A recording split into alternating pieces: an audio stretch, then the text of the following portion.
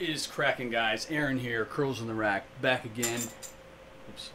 And I apologize for my appearance right off the bat. I just got done hitting a workout, and so I'm a little sweaty, a little grimy. I smell all right. But it was just arms day, so I have a little bit of gas in the tank to do a video. Today's video is for everybody that wanted to build a belt squat and uh, sort of my take on it. Um, it's going to be a little bit different, and there was some sort of uh, uh, uh, wait time on it just because I didn't have it quite right, and I think I figured out how to do it. We're going to build it using the slinger setup, but you don't necessarily have to have the slinger setup. You could have sort of any kind of pull down machine that then has a lower roller uh, attached to it. So anyways, let's just get right to it. So building a belt squat is not really a new concept. Uh, tons of people have built them. Uh, you can use cable machines, you can use um, the trolley arms, all sorts of different ways to build a belt squat. But the one thing that I think is missing from it is being able to start in the extended position, much like you would a regular squat if you're under a barbell. You don't want to be starting, you know, down here and then have to work your way up. You want to sort of go down into the squat and then spring back up. So that was why it took a little bit longer to kind of come up with and wrap my brain around how I'm going to complete that. And so I'll go ahead and show it to you right now, and then I'll go through the ins and the outs of uh, what I use to do it. It's not really that much stuff. Okay, so first of all, what I use to uh, make the platform is just plates. You know, I'm a big fan of utilizing stuff that you already have in your gym if you have plates, use the plates. If you have some jerk boxes, use the jerk boxes. If you want to build a platform, build a platform. I just had these. They're easy to set up. They're easy to throw away. Throw away. Put away. I'm not throwing them away. Uh, when I'm done with them. So that's what I did. You need the uh, slinger or some sort of lower pulley. You need an upright. And what I'm using is the uh, uh just a 3x3 upright uh, Rogue one.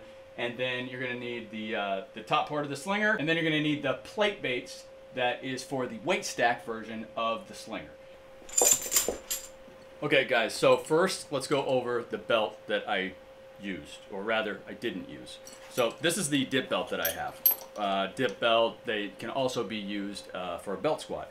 But unfortunately, this one right here, once you get it all cinched up, has these large pieces of metal that you can see here. And those really dug into my hip flexors when I was at the bottom of the movement. So it made it very uncomfortable. And so this belt was out. Now, it's not to say that there aren't other dip belts that you can use. I know Spud Inc. makes one, but it's like a hundred bucks.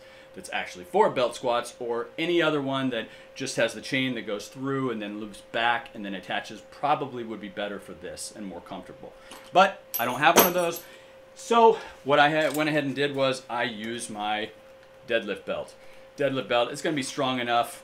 It's just pulling on the, uh, you know, the handle here, the handle, the belt loop, the belt loop here. And what I did was I just took a carabiner and the Spud Inc. pull down attachment. And it also has a ring on the end here. Okay, so that's the belt. Okay, so besides some sort of makeshift platform that allows you have a gap in the middle so that the lower portion of the slinger is here, there's also one more modification I had to make to the lower pulley you can't uh, use the cable that comes with it because it's too long. You would be sort of, you'd be right up here and that was a bit too long. Now, in a previous video, I'm not sure which one it is yet, but I'll link it up there. I show you guys how to make some of these cables by going to your local hardware store and getting these loops, ties, cutting the cable to length, and then you can figure out exactly what you want. So I had this one and um, it just needed to be a tiny bit longer so I attached a piece of chain on here and then I could attach to the top part of the slinger. The rest of the setup is just the slinger that goes over the top, the plate loaded base where you can put your plates and the base or I guess the shelf for the plate loaded base. So you'll notice that you're going to have to load the plates a little higher on here. You'd normally have the plate loaded uh, base sitting right about here, and then you could do your pull down movements. But with this, we want to start at the top. And so this is why um, this is so high up here. Let me go ahead and show you exactly how it works and the piece that I think is most important for this. All right, guys, so the way it works is pretty simple. I'm able to come over here, clip in with my belt. I'm still able to stand up. I don't have to finagle my way up onto the weights, which is the best part. I stand up on the weights. I'm fully extended. The weights are off the base a tiny bit. And the way it works is you pull this pin, you slide this guy to the bottom, it's out of your way, you do your movements, and then on your last rep, you just grab it, slide it back up, and pop the pin in. You can step down, you can unlatch. Now, let's say just in case you're up here and you throw that down, you get your reps in. Oh, maybe I can get one more rep. I don't think I'm gonna be able to get more one more rep. I can't go down. I can't grab that. Well, then you got your oh crap pin right here. Put this guy in, and then you can safely get out. Not ideal, but in a pinch, you don't want to be stuck at the bottom of the movement and get hurt. Okay, so let's go over what I did to make this. So I wanted to come up with something that would allow this piece to slide up and down the upright like a trolley, but it doesn't have a backing on it. I can't really attach a backing. So what I did is I took one of those bands that you would use to put around your knees to force your knees out on a squat. I put that around it with a carabiner clip on the front here. Then I took this that has a bunch of holes where you can loop carabiners through that came with the slinger looped a carabiner through and did this.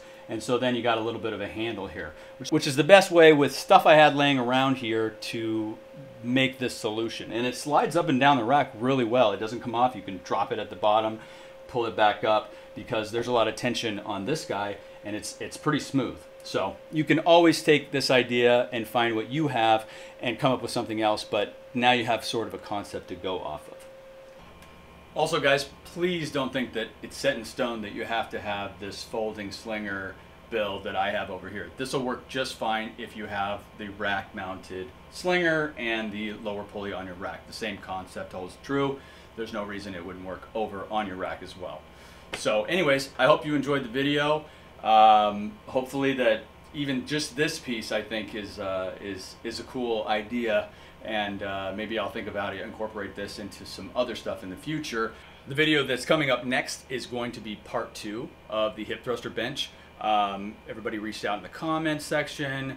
If you, they had one, they were telling me what they used it for, and then also uh, were asking, could it be used for this? So I went ahead and tested it out, and we'll do a part two to that. And also, I wanted to sort of do something a little bit special at the special. I want to do something that I enjoy. I enjoy comedy, music, and fitness. Those are my my three loves. And so what I thought, even though I'm not very funny, what I thought uh, I would do was uh, do my workout song of the week, either new stuff or old stuff. Uh, and please, in the comment section, let me know what you're listening to. But the the song of the week, the track of the week, is Yelawolf's new song "Bounce." So uh, put that on your playlist. And until next time, peace.